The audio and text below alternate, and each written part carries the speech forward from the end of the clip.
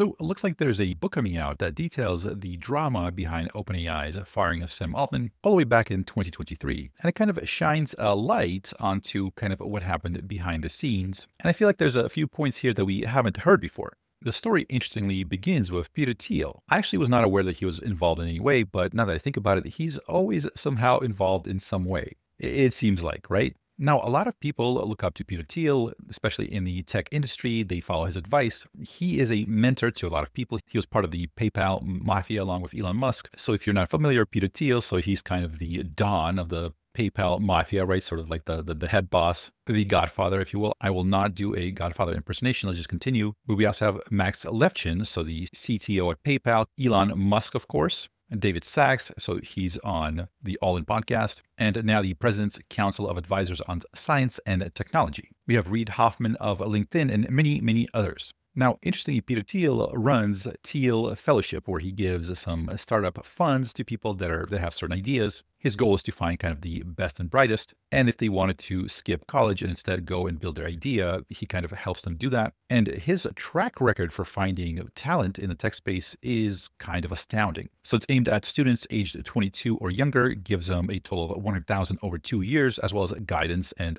other resources. There's only 20 to 25 fellows selected annually. So some of the Power Player alumni of the Thiel Fellowship are for example, Vitalik Buterin, founder of Ethereum and also a self-made billionaire. See if you can spot a pattern in all of these names. We have Dylan Field, the wealthiest person to go through Thiel's fellowship. So he co-founded Figma, a challenge to Adobe's Photoshop. Looks like Figma got acquired for 20 billion, making Field a billionaire. We have Austin Russell, self-made billionaire at age 25. We have Joshua Browder. So he's apparently, he started Do Not Pay. Lucy Guo, so it looks like she's worth 440 million. And this is Laura Deming. So she was in the first sort of Thiel fellowship in 2011. So she started working in a lab at age 12, was enrolled at MIT by 14, and decided to drop out at 16 to pursue Thiel's fellowship. At 23, her longevity fund raised 22 million. Thiel apparently also mentors or, or used to mentor Sam Altman. In fact, in November 2023, right, the same year, the same month that Sam Altman gets fired from OpenAI, Peter and Sam are sitting and enjoying a fine dining experience in LA's Arts District. So by the way, so this book that kind of originates a lot of this, it hasn't been published yet. It sounds like it talked to a, a, number of people that were kind of insiders that went through this. So we don't yet know like all the sources quite yet. I believe the book launches in a few weeks. Meanwhile, there's multiple news outlets reporting on this, so I'm kind of just piecing everything together. So kind of keep this in mind. I'm not saying any of this is true. I am saying that this has been published by various outlets. We're kind of just uh, beginning to put all the pieces together. So back to our conversation at the arts districts. So Peter Thiel is talking to Sam Altman, and Peter is worried about another AI obsessed individual that he took under his wing, that he's helping to fund his institute that is largely concerned with AI alignment, AI safety. Now, this is about a year after the ChatGPT moment, the release of the ChatGPT app. So people have had time to sort of at least become familiar with it. So this is this is where talks of AI safety and stuff like that, they're, they're already taking place. It's in the news. And guess who that uh, AI obsessed prodigy with the AI Safety Institute, who that person is? It's none other than, yes, Eliezer Yudkowsky. Here is Mr. Eliezer Yudkowsky. Uh, he decided to Ghiblify himself as well, which uh, my hat's off to him. The Ghibli uh, studio style things have been going kind of viral recently, as I'm sure you know, driven by the new ChatGPT, the, the 4.0 model being able to produce native images. But Eliezer is the original AI alignment person. He is sort of, when people talk about AI doomers. He's kind of seen as the main person in, the, in that discussion. He's sort of like the poster boy, I guess, if you will, for that movement. If you haven't heard his interviews, there are two great interviews that I've listened that I can definitely recommend. One is the Lex Fridman podcast, number 368. The other one is Dwarkesh Patel. So this is if you've ever seen kind of like this thing where he's like pointing at him going, misaligned, misaligned. That's, that's kind of where that's from. But I think to sum up some of his views in a nutshell, and I think he would agree with me, is that superintelligence just kills you. And I don't think that's hyperbole. I think he's literally said that to people that are saying, oh, imagine all the benefits of superintelligence. He might reply with something like superintelligence, you know, basically just kills you. And I think he does a great job of explaining sort of all the risks, all the potential risks behind developing AI. He strongly believes that it will turn out bad for the lives of humans. And he also plays a big role in the EA, the effective altruist sort of movement. And of course, you might have heard of the website Less Wrong. So that was created by him. And he's definitely seen as sort of like the leader in the AI safety space. And apparently, a mentor of his, somebody that funded some of his research, was Peter Thiel. And again, in November 2023, Peter Thiel is sitting with Sam Altman and warning Sam Altman about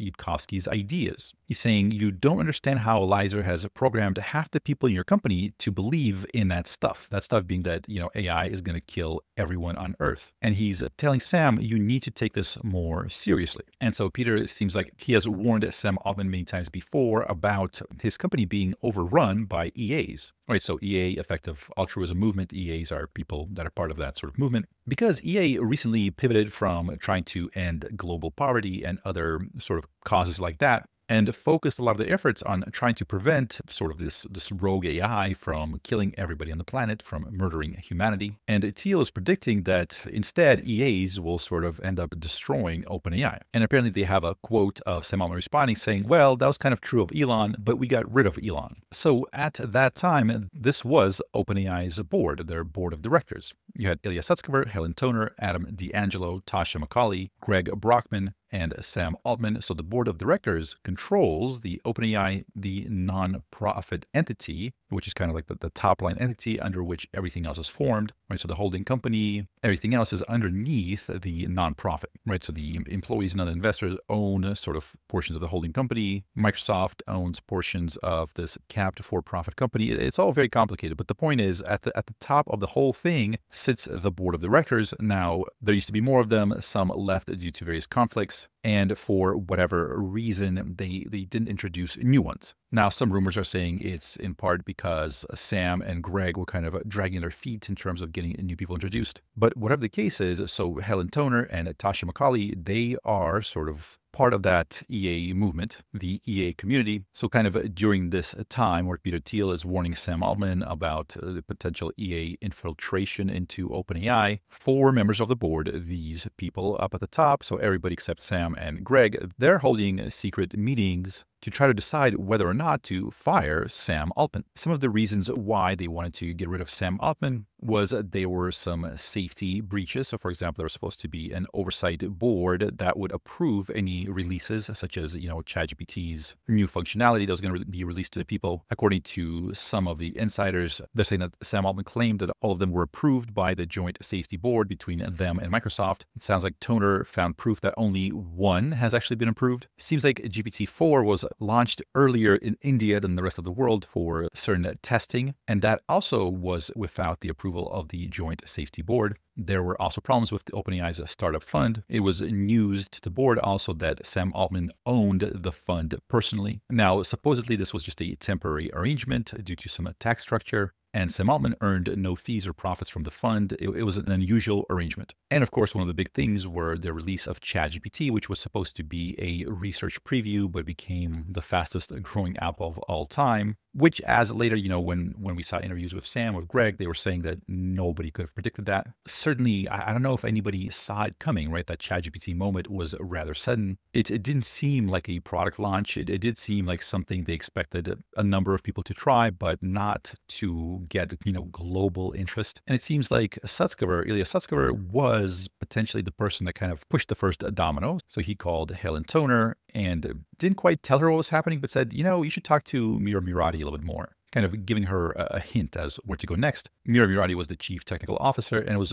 basically running the day-to-day operations of OpenAI. Now, at the same time, there may or may not have been some conflict between Ilya and another OpenAI researcher, Jakub Pachocki. Rumors were that Sam Altman promised both of them to kind of lead the, the research direction of OpenAI. Also, around this time, Helen Toner published a paper in which she criticized OpenAI, kind of uh, saying that Anthropic was doing a much better job kind of over AI safety. Sam Altman was very upset over this, and allegedly he told Ilya Sutskever that Tasha McCauley, another board member, said that Helen Toner should be fired over this. And apparently they all realized that this was not the case, that this was a lie because they were at that time holding their own kind of secret meetings. So whatever the case, they decide to pull the plug. And when Sam Altman is away from San Francisco, from the Bay Area, they call him on a video call and tell him that his services are no longer needed. They, they fired him. They also remove Greg Brockman, likely because Mira Murati did not want to work uh, underneath him. So since they wanted her to just run the whole operation for the time being, they removed Greg as well. Interestingly, this is kind of a, an interesting bit of information. After that whole thing happened, the board members told Ilya Sutskever that they were pretty sure or worried or they thought that maybe he was sent as a spy to test their loyalty, right? So maybe he sort of uh, went to them to try to stir up some trouble, saying, oh, you should talk to Mira. There might be some information that you need to know and kind of got the ball rolling. What if he was doing all that as sort of this uh, double agent working for Sam Altman? Now, I wasn't there. I don't know what happened, but there was one prediction that I made back in November 2023, and I stand by to this day. I'm willing to bet money on it. And that is this. This story, this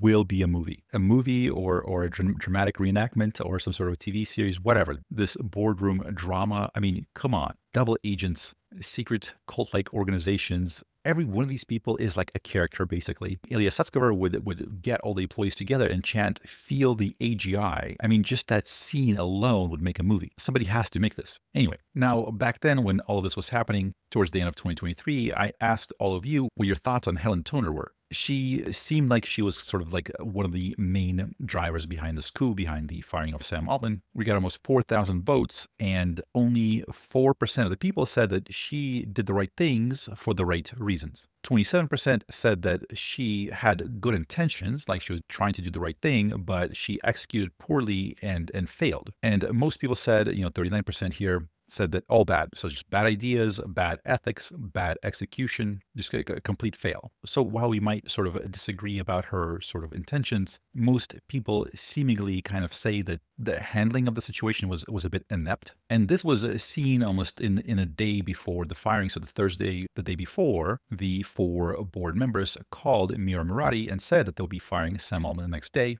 and asked her to step in as the interim CEO. So she agreed, but when asked why they were firing him, uh, they wouldn't tell her. Murati was concerned if they talked to Satya Nadella, the CEO of Microsoft, about this, if they gave him some advanced warning. They had not. They decided that Mira Murati would tell Satya right, so right before the news broke. And of course, the next day they decide to pull the trigger the whole thing becomes a worldwide headline. Everybody wants to know what happened. So at this point, they still haven't told anyone anything. They didn't tell Sam Altman or Greg or Mira Murati. And the only thing that they're saying is that Sam Altman wasn't consistently candid with the board. So after the firing, the employees, the executives, they're all meeting with OpenAI's board, right? The four remaining board members, and they're baffled about what's happening. No one knows anything, right? So Satya Nadella running Microsoft reports are that he was just mad. He's losing his mind because he, he's never just seen this sort of uh, behavior. He has no idea what happened, why it happened,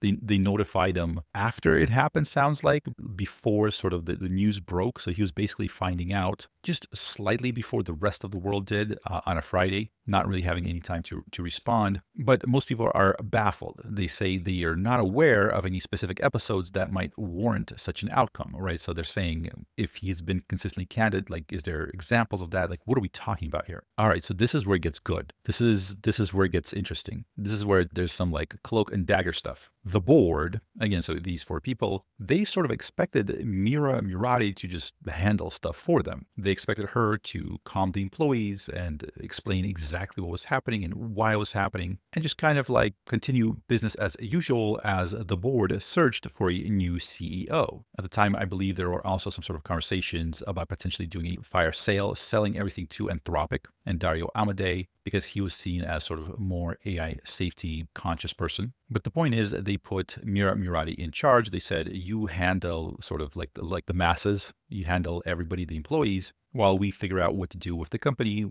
if we're going to put a new CEO in or just sell it off. And they expect Mira Murati to just handle everything. Instead, Mira Murati basically leads a company-wide revolt against the board. There's a narrative that's being spread in the company that Ilya Sutskever was mad at Jakub Pachocki because he received the promotion. They were also saying that Helen Toner was mad because Sam Altman didn't like her research paper that she published, that, that he tried to push her off the board. And look, here's the thing, because they failed to provide a narrative or an explanation of what was happening, of course, one was going to get developed somehow, one way or another. I recall at the time sitting there, like just not knowing why, what was happening, why these things happen, anything like that. It was very frustrating. And of course, a lot of people are interested in AI development. They're concerned. So having four people do this with no explanation, first of all, the entire world is watching. There's no explanation for why it's happening. Like you could have predicted that this wasn't going to end well. So what happens by Monday morning is that all of them sign a letter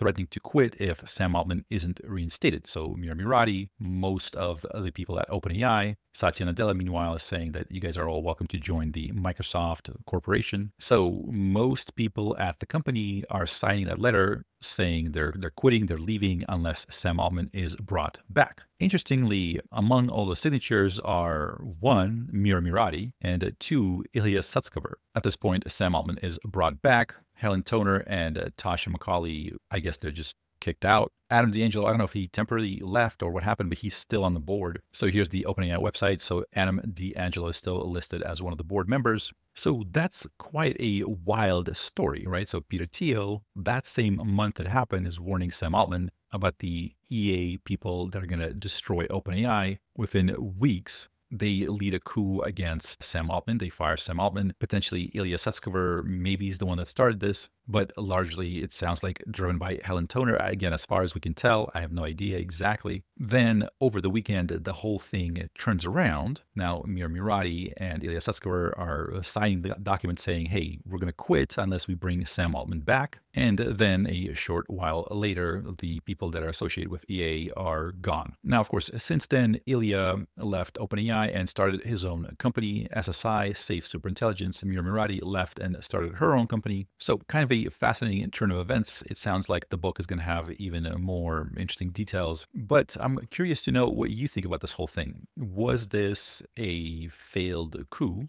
It was just people that were, you know, part of the EA movement that were concerned with AI safety. They found things where Sam Altman wasn't 100% consistently candid, like they said, and they figured they needed to kind of exercise their authority, their role as the board to try to get him out and, and bring somebody else in. And this was just, they, they fumbled the execution of that? Or do you think that this may have been something more nefarious? They, they just wanted to bring in somebody that kind of saw everything the way that they did maybe somebody that was also part of the EA, movement, somebody that also believed that there's a high X risk from AI? Or do you think this was uh, some sort of a, a double cross where Peter Thiel is like, hey, here's what you need to do to get rid of these people, get them off the board. And uh, maybe Ilya Sutskever, maybe Mira Murati did have some role to play in that. Let me know what your take on this is. I'm, I'm very curious. If you made it this far, thank you so much for watching. My name is Wes Roth, and I'll see you next time.